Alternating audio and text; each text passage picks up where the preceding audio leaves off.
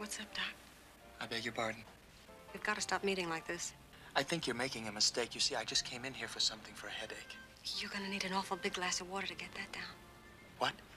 Oh, no, no. You see, I'm a musicologist.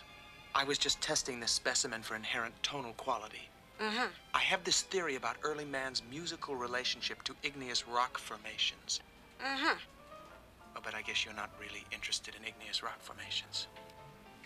Not as much as I am in the metamorphic or sedimentary rock categories. I mean, I can take your igneous rocks or leave them. I relate primarily to micas, quartz, feldspar. You can keep your pyroxenes, magnetites, and coarse grained plutonics as far as I'm concerned. I forgot why I came in here. Headache. Oh, yes, thank you. And goodbye.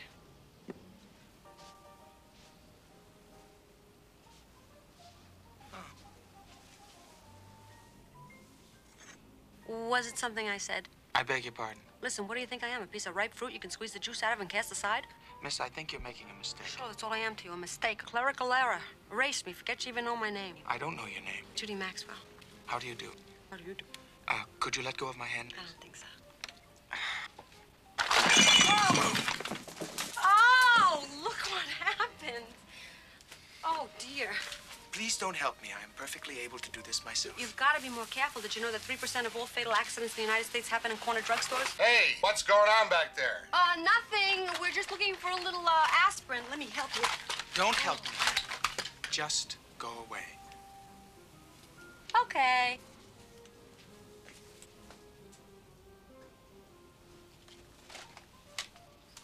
My husband will pay for this.